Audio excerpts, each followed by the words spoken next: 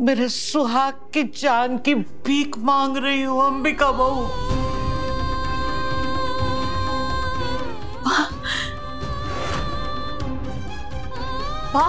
माँ आप क्या कर रही है? प्लीज़ रुक जाइए। माँ प्लीज़ आनंद को बचाने के लिए मैं क्या करूँ?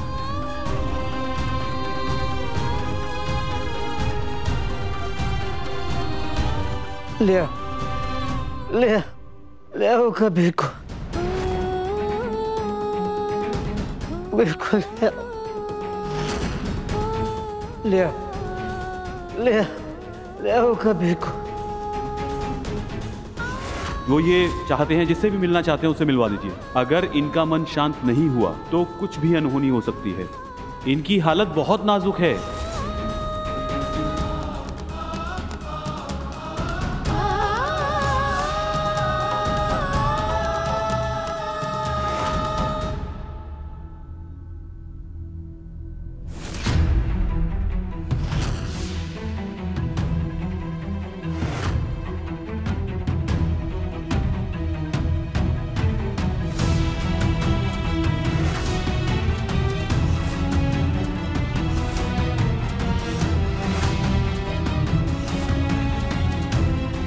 मासू इस समय मैं आपकी तकलीफ़ का अंदाज़ा भी नहीं लगा सकती हूँ, पर मुझे ये पता है कि आपका दिल बहुत बड़ा है।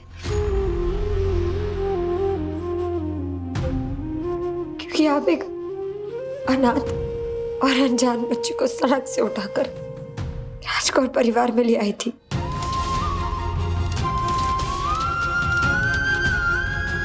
मासू कबीर के अंदर तो राजकौर परिवार का खून है ना?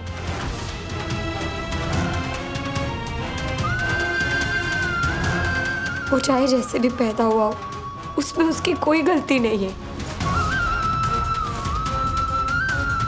और आपके साथ धोखा हुआ है, मैं मानती हूँ। वैसे कबीर के साथ भी तो धोखा हुआ है ना? जैसे इस समय आपको बुरा लग रहा है वही कबीर भी तो महसूस कर रहा होगा ना मासूम।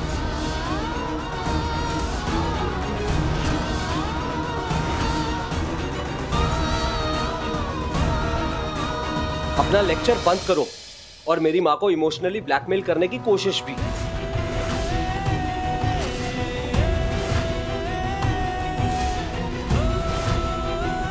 चलिए माँ।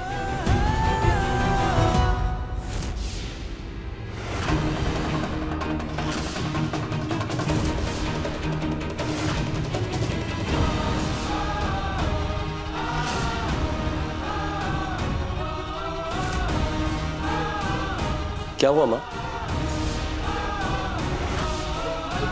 कबीर को ले आ।